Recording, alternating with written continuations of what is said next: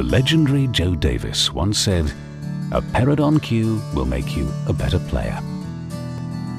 Since 1885, we like to think this is what we've been doing for players everywhere.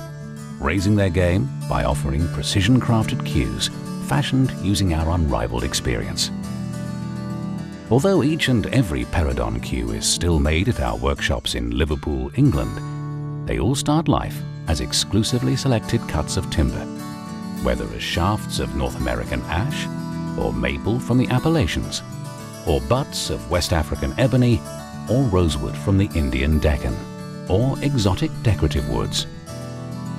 At Peradon, we have a unique and special relationship with wood, scouring the world on your behalf to bring you the best. Each piece of timber is kiln dried. It's important to do this very slowly to virtually eliminate any possibility of warpage while maintaining every nuance of the original grain structure. We then rigorously grade the timber, discarding pieces not up to our high standards.